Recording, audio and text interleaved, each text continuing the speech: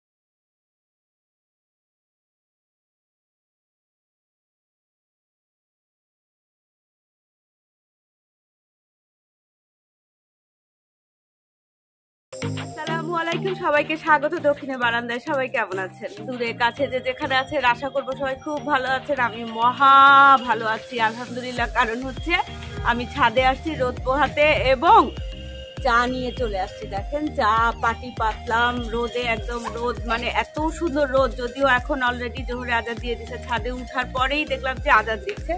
অসুবিধা নাই। এই আধা ঘণ্টা থাকব, তারপরে চলে যাব আর কি। আর কাজ নিয়েও আসছি যে এই টপটা আনছি। ওই সাদা যে কসমোসটা দেখা যাচ্ছে, ওই কসমসের টপটা পাল্টাতে হবে। আর এসব দেখেন কি পরিমাণে খেলে। এসব! এই এই গাছের ওখানে জায়গা দিকে চলে আসো। এসব খুবই পছন্দ করে। মানে এই রোদের মধ্যে না একটু আনলে ও খুব এত খেলে, এত খুশি হয়। এই যে এসব!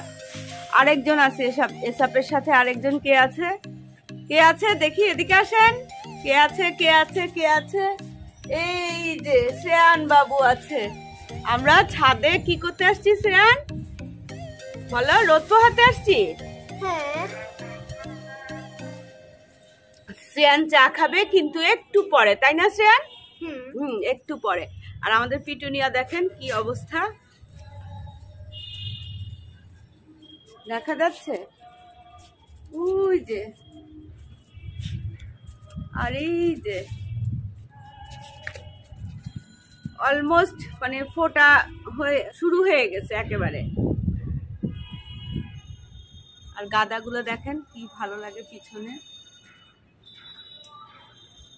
অপূর্ব লাগতেছে মানে একেবারে মিষ্টি মিষ্টি একটা রোদ। তার মধ্যে হচ্ছে চাটা যা মারাত্মক না, এই যে দেখেন।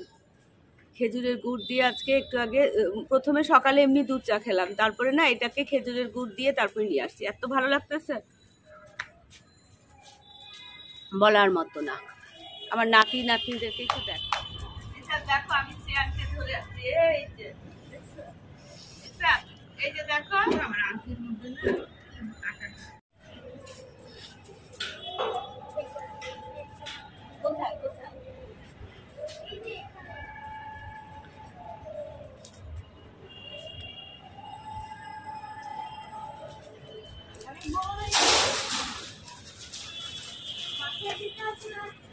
তুমি আমাকে আমাকে একটা গাছ গিফট করো তো তুমি লাগিয়ে আমাকে দিবে ঠিক আছে? আমিও এখানে বসে আছি। রোদ লাগছে তোমার? গরম লাগছে?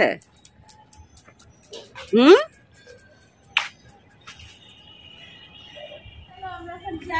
যাই যাই, চলো চলো চলো চলো চলো, এসব চলো চলো, শ্যাম, চলো হচ্ছে যাওয়ার সময় না কি করলাম? একটা ছোট শোল মাছ, এটাকে ধুয়ে ধুয়ে হলুদ, মরিচ, লবণ মাথায় রাখলাম আর এখানে হচ্ছে মূলা আর আলুকে পাতলা পাতলা করে এরকম গোল গোল করে কাটলাম। কেটে এটাকে এখন মূলার ছেচকি করব, এই যে। পাতলা পাতলা করে এভাবে গোল গোল করে কাটছি। ছেচকির মধ্যে আমি ফোড়নে দিব, একটু কালো জিরা দিব, আর দিব হচ্ছে একটু সাদা জিরাটা দিয়ে তারপরে হচ্ছে পেঁয়াজ দিলাম, দুটা কাঁচা মরিচ দিলাম, দিয়ে এগুলো একটু ভাজা ভাজা হবে। লাল হবে না মানে পেঁয়াজটা একটু নরম হয়ে যাবে, আমি এখানে মূলাটা দিয়ে দিব, লবণ দিয়ে দিলাম। এখন এটাকে নাড়বো ভালো হচ্ছে আমি এই যে শোল মাছটার জন্য। এখানে আমি এই যে সিমের বিচিকে ধুয়ে বেছে হাফ সিদ্ধ করে নিচ্ছি এখন শোল মাছটা আগে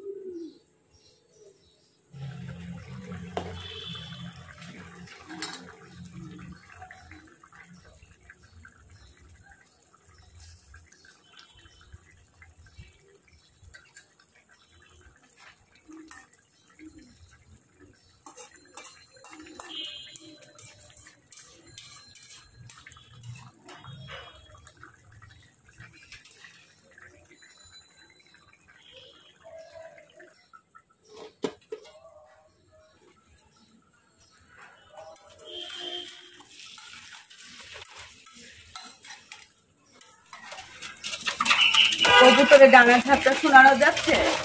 এই যে এখানে চাল আর পানি রাখা, এই যে উপরে, এই শেডটার উপরে কবুতর। মানে কবুতরের ডানা ঝাপটা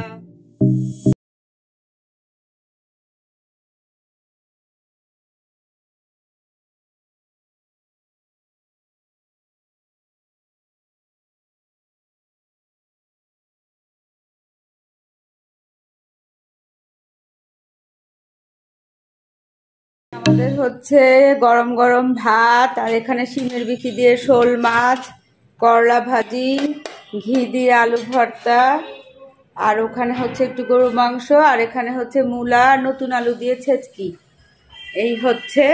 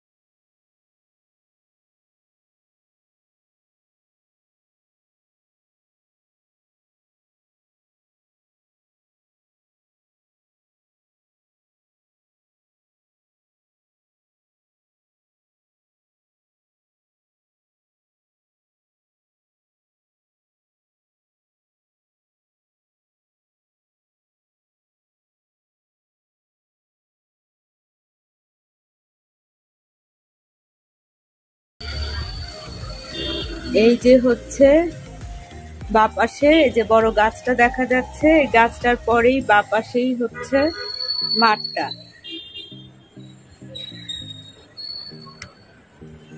মাঠটাতে খুব সুন্দর মানে হাঁটার খুব ভালো ঠান্ডা কিন্তু মোটামুটি ভালোই, একটু একটু ঠান্ডা, কিন্তু ঠান্ডাটা আমার খুবই ভালো লাগছে। এত ভালো লাগতেছে যে বলার মতো না।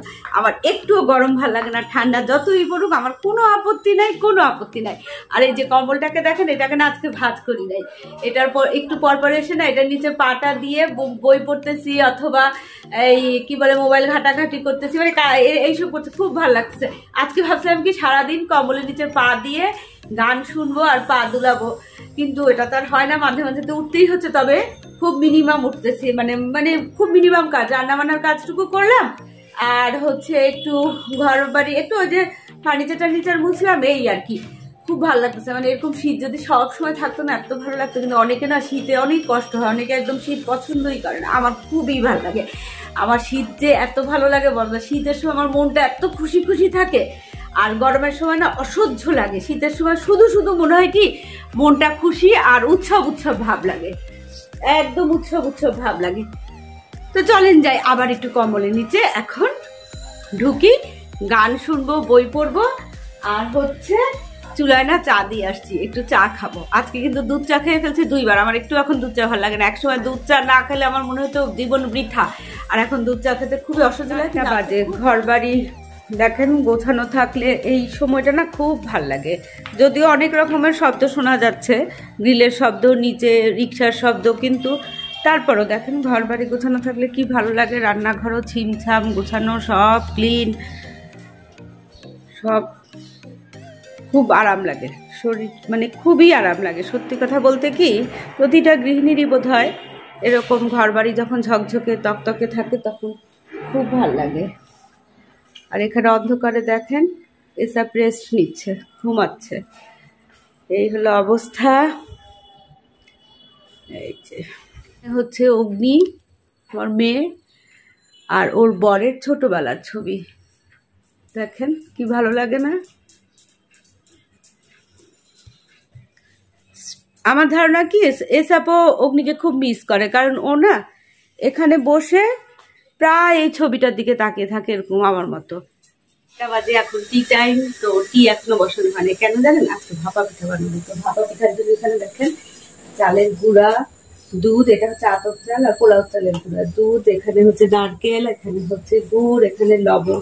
তো লবণ আর দুধ দিয়ে, সামান্য লবণ দিয়ে চালের গুঁড়াটা দুধ দিয়ে মাখাবো, তারপরে হচ্ছে এটার মধ্যে চালবো। আর এখানে ভাপা পিঠার জন্য ছোট্ট পাটি আর এটা দিয়ে দিচ্ছি আর এটা এগুলো দিয়ে পিঠা বানবো। চলেন, আর এই নেটটা ব্যবহার করব। চলেন, তাহলে ঘুরি করে আগে পিঠাগুলো বানাই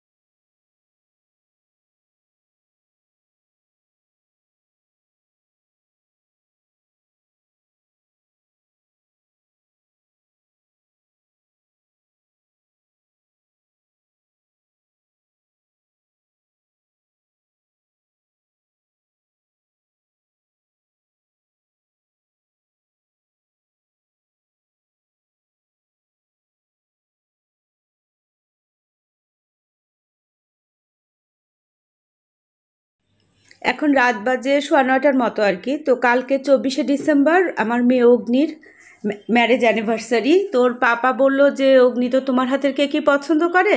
তাহলে তুমি কেকটা বানাও। প্রতিবার তাই হয় আর কি। তো রাত বারোটার সময় ওর জন্মদিন হোক আর ম্যারেজ ডে হোক, আমরা রাত বারোটার সময় উইশ করি। এটা সব সময় চলে আসছে, এবারও তার ব্যতিক্রম হবে না। তো আমি ঝটাপট আর ব্লেন্ডারটা বের করে সব কিছু ব্লেন্ডারে একেবারে দিয়ে প্রথমে যেগুলো আর কি লিকুইড ইনগ্রিডিয়েন্টস সেইগুলোকে ব্লেন্ড করে, তারপরে ড্রাই ইনগ্রিডিয়েন্টসগুলোকে ব্লেন্ড করে একেবারে, তারপরে চুলায় বসিয়ে দিয়েছি জাস্ট নামাবার আগে ড্রাই ফ্রুটসগুলো দিয়ে দিয়েছিলাম। তো কেক আমি মনে হয় আরও দু একবার চ্যানেলে শেয়ার করেছি, এই জন্য আজকে আর সময়ও ছিল না ডিটেইলে আপনাদের সাথে শেয়ার করলাম না। তো ইনশাল্লাহ দেখা হবে রাত বারোটার সময় কেক কাটার সময়।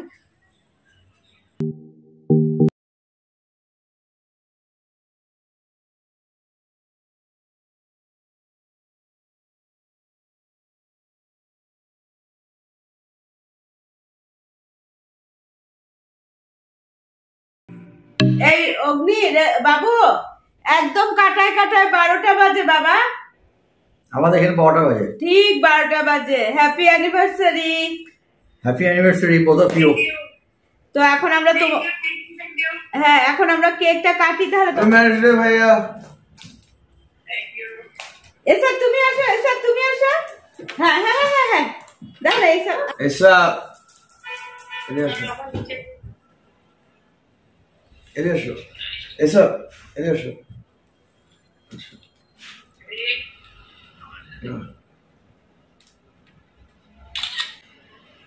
বর্ণ